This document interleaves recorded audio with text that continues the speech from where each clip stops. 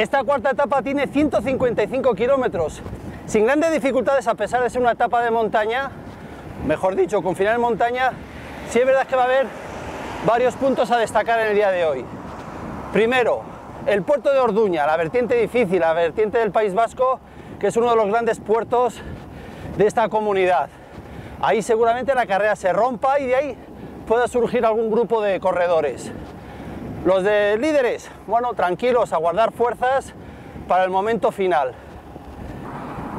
La aproximación final va a ser otra vez muy dura para todos los corredores, porque no solo habrá que salvar Orduña, esos abanicos que seguro que se armarán, sino sobre todo ya esta parte final, las posiciones de cabeza van a ser muy codiciadas.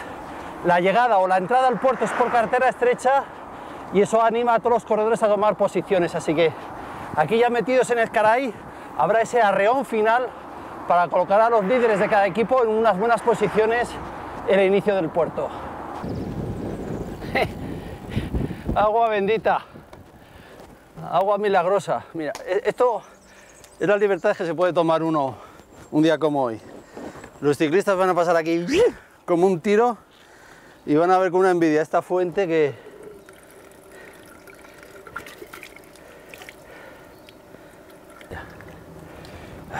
este agüita milagrosa no sé si me va a permitir ganar hoy pero ir un poquito más contento. Bueno qué pero estás animado a subir Valdescaray te acuerdas ya cuatro veces ha subido eh y tu nombre está ahí grabado en letras de oro. Has ganado una vez y todo. Bueno ahora lo cuento mientras vemos la subida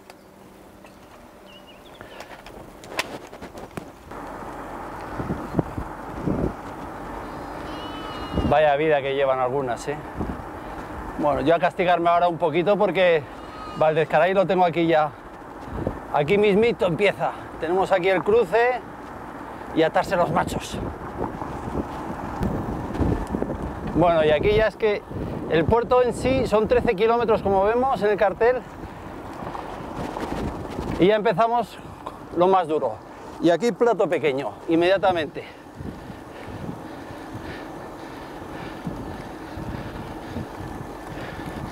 Lo más complicado de esta extensión son, bueno, yo creo que se va a ver además fácilmente, los dos primeros kilómetros. Rampas del 8, del 9, del 10, pero vamos a decir que nunca van a superar luego ya, pasar los dos kilómetros, el 7%. Y con que sea un puerto largo, va a ser muy tendido, va a haber muchos descansos. Una característica a otros que vamos a subir este año es la carretera. No es que esté mala, pero sí que bueno, está un poquito botosa, piso irregular, que eso siempre añade una dificultad a la extensión.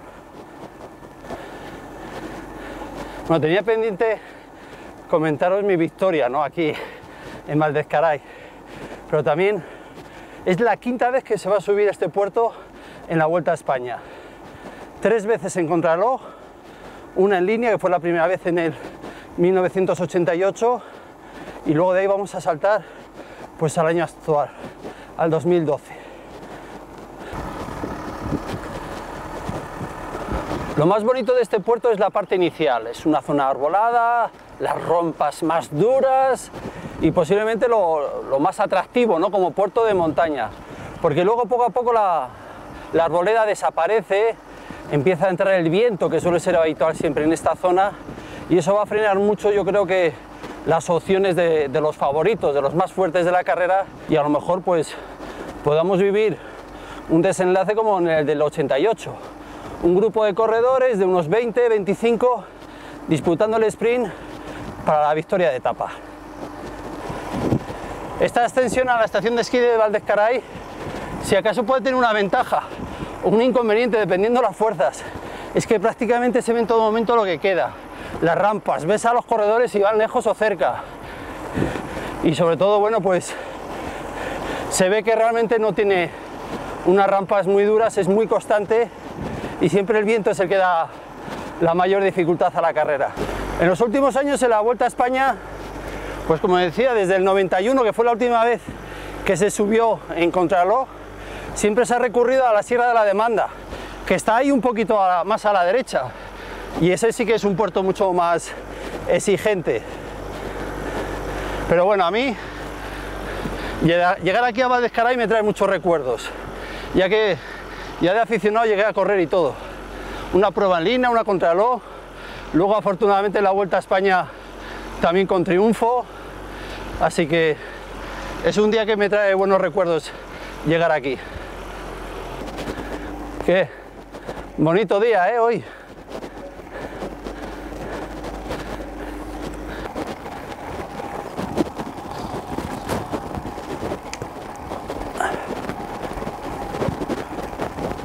Bueno, cambio de asfalto. Esto ya indica que estamos llegando.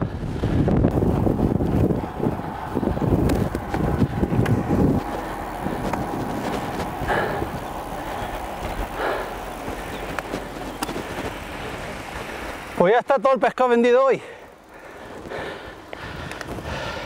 Ya hemos visto que, que esta estación de esquí de Valdezcaray a lo mejor no es muy dura, ¿no? Y es posible que no haga diferencia entre los favoritos. Pero hay que tener una característica, que si la hay posiblemente el culpable sea ese viento de costado que pega la zona de Aro, de Santo Domingo, la calzada, en esa aproximación a este puerto. Así que por lo demás es posible una llegada de un grupo de 20, 30 corredores al sprint y que si alguno de la general se descuelga es porque los abanicos esos de colores la ha sorprendido. Bueno, os dejo, estas son las dos primeras etapas, posiblemente digo dos etapas de montaña con final en alto menos duras. Las que vienen ahora, la gallina, los lagos, Sancares y todas esas, eso sí que son palabras mayores.